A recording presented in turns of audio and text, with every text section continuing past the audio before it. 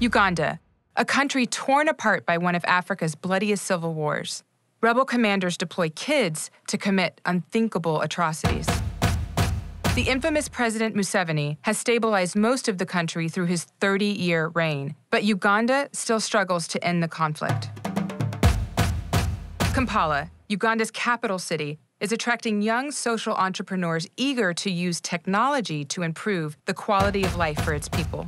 William Golding writes in The Lord of Flies that the greatest ideas are the simplest. Meet Joshua Okello. Before even graduating from college, he designed an ultrasound app for smartphones with his partner, Aaron Tushabe.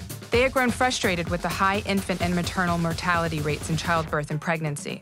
And the number of reasons, uh, you know, that lead to this, they all revolve around cost, around distance, around equipment. So it's something that really spoke to us. Most clinics can't afford an ultrasound, so a baby's heartbeat is monitored by a 100-year-old device called the Pinard horn.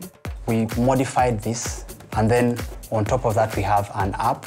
The app diagnoses, alerts, and suggests courses of action. Even a less experienced medical personnel can provide close to the same standard of care that you know, a person in a more affluent area gets. We decided to put it to the test. We found a maternity clinic in Kampala and met up with a midwife named Joy. How many babies have you delivered uh, in your career so far? Ah, about 200. Ruth is pregnant with her first child.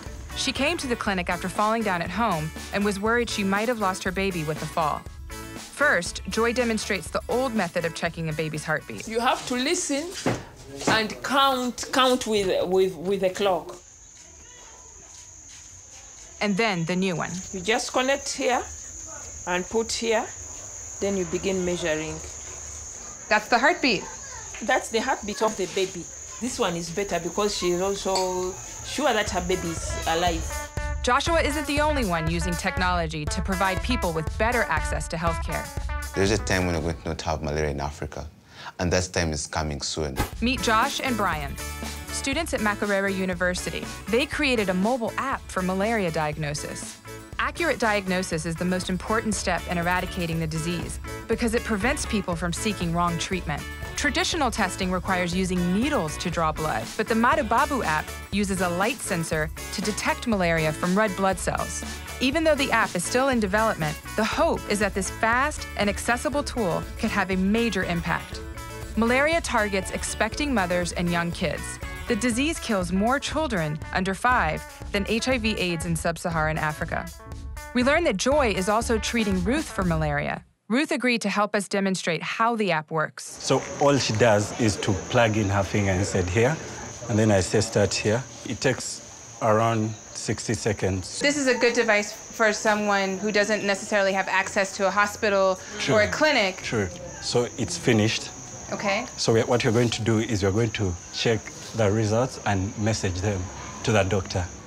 Yes, the message. Oh, her cell phone is ringing because he just texted her. What does it say? Your results are positive. Visit a doctor.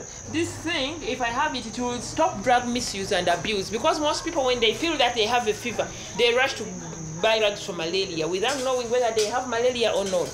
Is It's a it- genius. Despite their successes, things have not been easy for these trailblazers. Our greatest challenge, finance, and then mindset. There's a general mindset that things that are made in Africa are not good enough. How do you deal with that Um, as a Ugandan? persistence. As African innovators, we have something really big you know, to offer to the world stage. The sort of conditions that we work in are much more difficult than other innovators out there. You know, and like I said, pressure makes diamonds. I think that that's the one thing that you know keeps us running.